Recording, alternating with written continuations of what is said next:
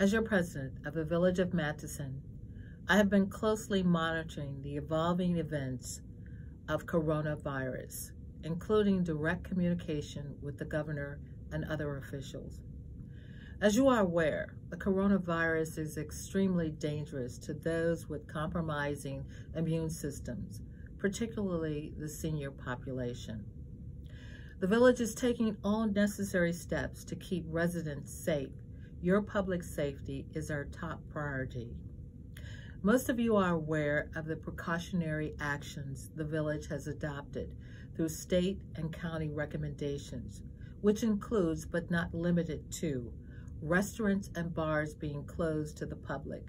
As of close of business day today, March 16th through March 30th, However, they will service drive-through, delivery, and curbside pickup.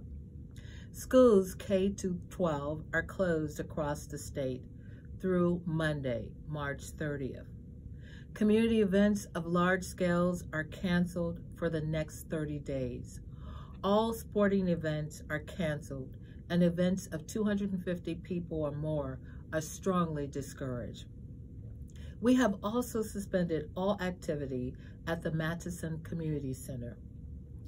We have also adopted the state of Illinois' recommendation to change payments and collection policies of utilities by extending the deadline for vehicle and pet stickers as well as water bills. We have closed the village hall to the public to avoid the spread of coronavirus. We have are committed to continuing to provide exceptional customer service in the village during these challenging times. As of today, we have no known confirmed cases of coronavirus in the village. However, cases in surrounding areas make it imperative that we continue to take proactive measures. These are challenging times, not just for the village of Matteson, but the United States as a whole.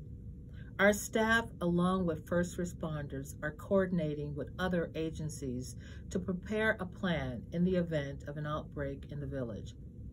As residents, we need to take necessary precautions to keep the village of Matteson safe.